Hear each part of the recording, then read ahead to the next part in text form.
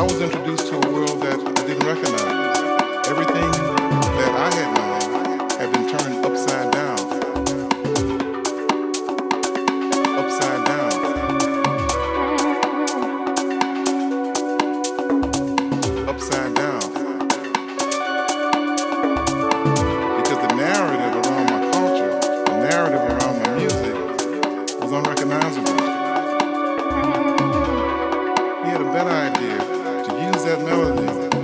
To express his own creative energy, his own creative vision. And this idea, this philosophy behind this music, it has gone on to inspire the whole world. It is music of liberation, freedom of expression that inspires you to seek your own expression.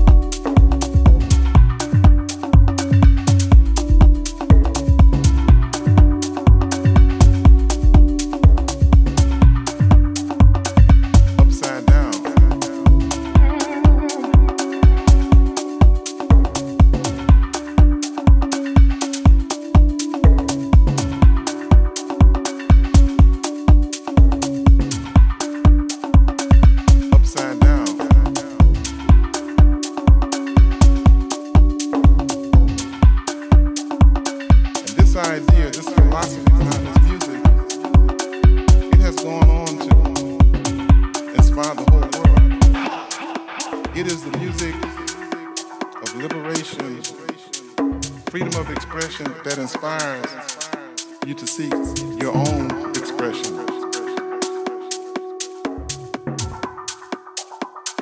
Upside down.